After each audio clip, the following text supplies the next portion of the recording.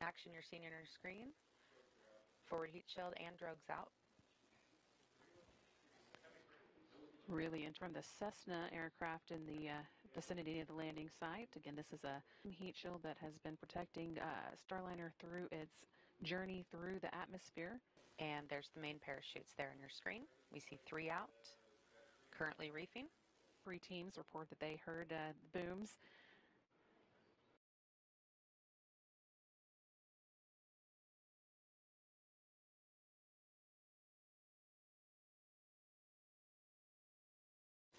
Touchdown. Starliner is back on Earth. That landing coming at 11.01 and 35 seconds Central Time, 10.01 and 31 seconds Mountain Time at White Sands Space Harbor. The uh, recovery team is on the move, but I think uh, Leah Cheshire and Josh Barrett, our colleagues out there,